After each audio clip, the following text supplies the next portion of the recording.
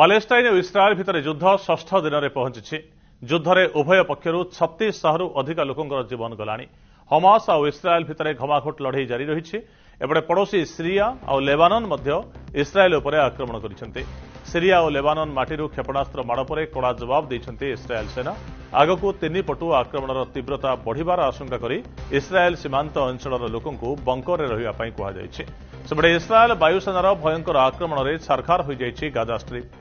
ବିଦ୍ୟୁତ୍ ଯୋଗାଣ ଠପ୍ ହୋଇଯାଇଥିବା ବେଳେ ଖାଦ୍ୟ ଇନ୍ଧନ ସମେତ ଅନ୍ୟ ଜରୁରୀ ସାମଗ୍ରୀର ଉତ୍କଟ ଅଭାବ ଦେଖାଦେଇଛି।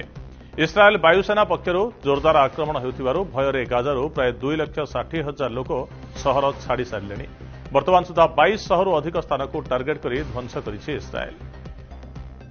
ପାଲେଷ୍ଟାଇନ୍ ଓ ଇସ୍ରାଏଲ୍ ଭିତରେ ଯୁଦ୍ଧ ଷଷ୍ଠ ଦିନରେ ପହଞ୍ଚିଛି। ଯୁଦ୍ଧରେ ଉଭୟ ପକ୍ଷରୁ ଛତିଶ ଶହରୁ ଅଧିକ ଲୋକଙ୍କର ଜୀବନ ଗଲାଣି।